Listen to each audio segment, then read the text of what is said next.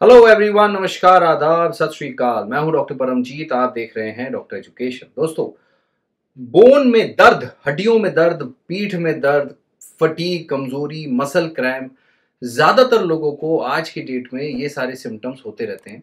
और इसका एक बहुत बड़ा कारण है जो है वाइटामिन डी थ्री की डेफिशिएंसी जो सालों में बनती है बिकॉज़ धूप का एक्सपोजर अब रह नहीं गया। रह भी गया है तो बहुत ज़्यादा हार्मफुल धूप आ गई है।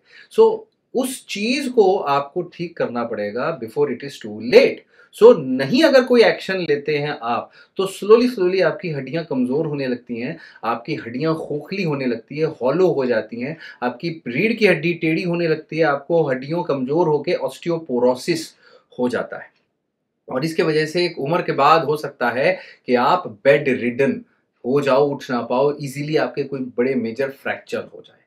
तो इसीलिए इट्स वेरी वेरी इंपॉर्टेंट इसलिए कि आपको खुद को you can not compromise this situation कुछ ना कुछ आपको इंपॉर्टेंट करना पड़ेगा। उसके लिए आपको एक हाई क्वालिटी सप्लीमेंट लेना होगा जो विटामिन डी की डेफिशिएंसी को ओवर करे ओवरकम करे और साथ ही उसकी डेफिशिएंसी आने ना दे। That's why I suggest this true basics vitamin D three ये जो है, ये एक ऑयल बेस्ड फॉर्मुलेशन है और ये क्या करेगा? ये हेल्प करता है oil based formulation vitamin D के एब्जॉर्प्शन में। यहाँ पर जो है, ये स्ट्रेंथ माइल्ड लेवल की दी गई है।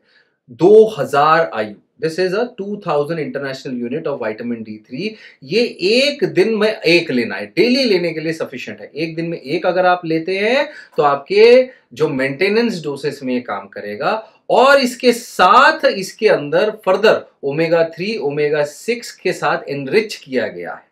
तो फिर ये जो एक चीज़ है एक डेफिशिएंसी प्रिवेंशन और डेफिशिएंसी करेक्शन दोनों में ही काम आ सकता है अपने विटामिन डी थ्री को सही रखने के लिए।